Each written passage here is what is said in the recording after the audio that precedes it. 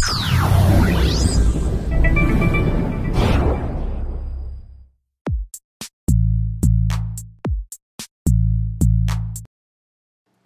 everyone, today I'm going to show you how you can get the most out of Mission Control in OS 10 Lion. Now, Mission Control unifies spaces as well as Exposé into one kind of conglomerate feature, if you want to call it. And there's a lot of new stuff with it.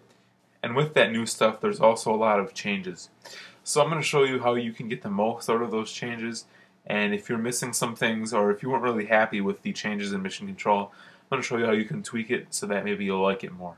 So first of all, if you're not familiar, there's a couple different ways to access it. Um, if it's in your dock, you could obviously click on it there or in an applications folder. Um, and as you might know on the trackpads that Apple has, if you swipe with three fingers, you can get to mission control. But what, what you might not know is that if you have a magic mouse, you can also easily access mission control uh, by double tapping on the surface with two fingers just like so, and you can see I'm in mission control. And this is a really handy way to get to it rather than going into a folder or clicking on something, it's just a quick gesture. Now there's also a lot of different settings with mission control, so if you go into system preferences and mission control, you can do a lot of different things. And you may find it to your benefit to change a couple of these things around. So by default, when you go to dashboard now in Lion, it looks just like this, and it's its own separate space. Uh, but if you like the way it was in Snow Leopard, you can untick this box that says Show Dashboard as a space. And now when you access Dashboard, it'll come down just like it used to. So you can do that as well. And when you go into Mission Control, you won't see Dashboard as a space anymore. And you can also rearrange spaces based on most recent use. Uh, so this can be handy if you're recently using something, your spaces can automatically be arranged so you can get back to what you were working on quicker.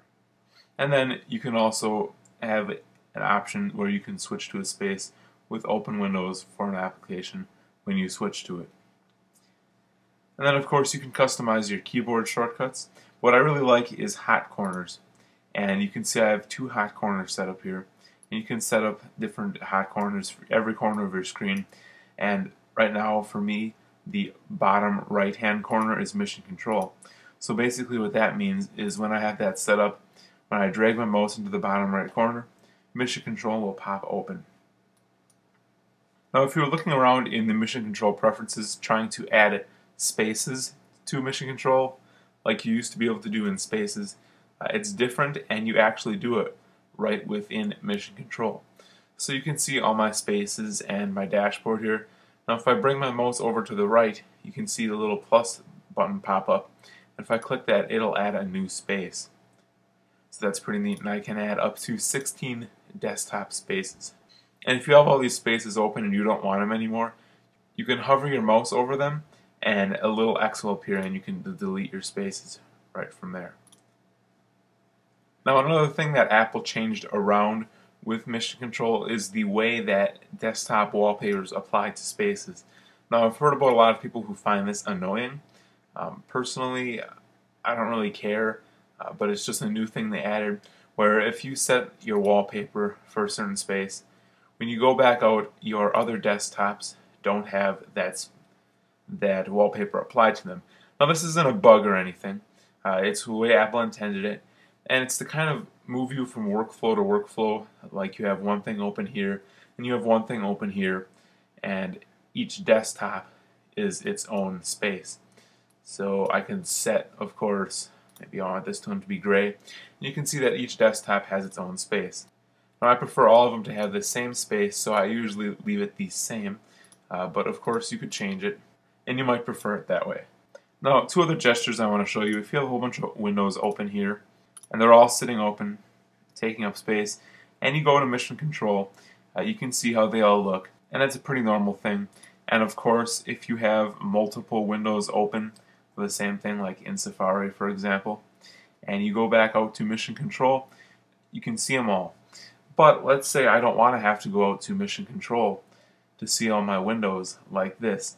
In, in Snow Leopard, you had the option where when you hold down on the apps tile, you could see all the open windows.